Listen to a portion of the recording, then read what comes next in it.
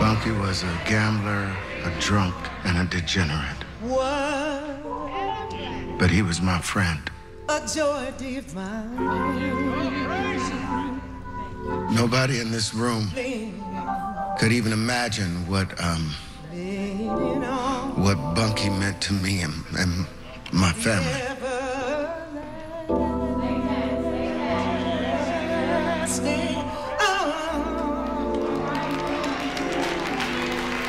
Back as far back as I can remember, Bunkie was there for us.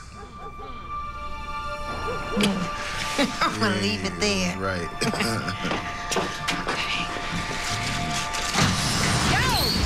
Hey, y'all gotta bounce. Rashid is coming. He know about the drop. Come on, man. Hit the fence. Go on.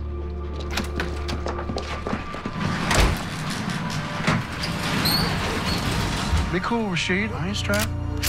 and we know about tough love. Well, I feel responsible for my friends that because he came to me and told me he needed my help. I'll light a match and I will burn this bitch to the ground. And I told him he got to stand on his own. I wouldn't give you three nickels. And I'm going to regret that the rest of my life.